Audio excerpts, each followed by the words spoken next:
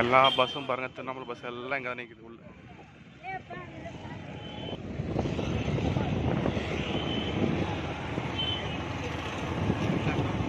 இதில் தாங்க இவருக்கு கார்த்திக் மரம் போகும் பொண்ணுக்கு கல்யாணம் இதுதான் இதுதான் சிஎம் பொண்ணு கல்யாணம் இது உள்ளதான் ம். கல்யாணம் நீங்கள் நைட்டு முடிச்சுட்டு இது